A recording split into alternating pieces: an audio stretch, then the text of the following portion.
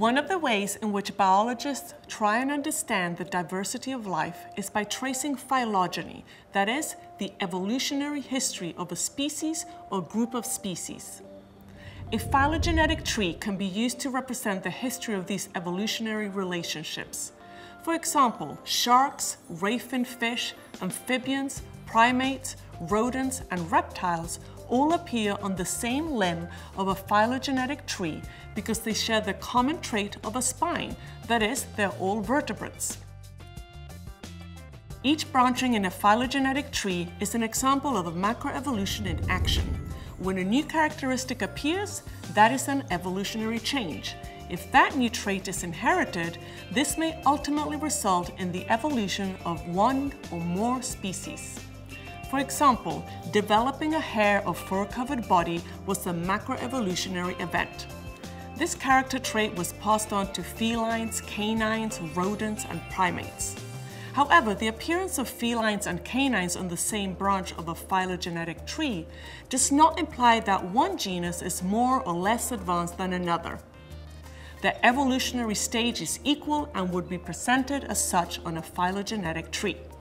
When tracing phylogenies, biologists must gather as much information as possible about the morphology, genes, and biochemistry of relevant organisms. Only the features that result from common ancestry reflect evolutionary relationships and are used for building phylogenetic trees. Thus, the first step when creating a phylogenetic tree is to distinguish homologous from analogous structures. Homologous structures are similar in organisms as a result of inheritance from a common ancestor, an earlier organism that, through evolution, gave rise to new species that are related. For example, the forelimbs of a human, a bat, and a whale have evolved to meet the specific needs of the species, but they are homologous because the structures and forelimbs were found in a shared common ancestor. The same is true for body parts of insects. For example, antennae and mouth parts. A grasshopper chews its food, but a butterfly sucks pollen. Antennae may be used to touch, smell, and even hear. These structures are also homologous because they evolved from a common ancestor. An analogous structure is a structure in one organism that is similar in structure or function to a structure in another organism because of convergent evolution, not common ancestry. Convergent evolution is a process by which two species acquire similar features due to similar selection pressures, that is, similar environments, and not due to shared ancestry. For example, Astrophyta live in North American deserts and are relatives of the cacti plants. Euphorbia, a succulent plant that come from Africa and evolved independently from Astrophyta. However, both share similar spherical shapes, have eight symmetrical sectors, and can take in and retain large amounts of water.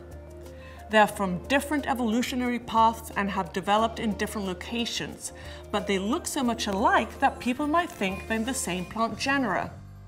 Another example of convergent evolution is the development of wings in birds and insects. Remember, convergent evolution produces physical structures that are analogous. They have similar functions but do not have identical structures.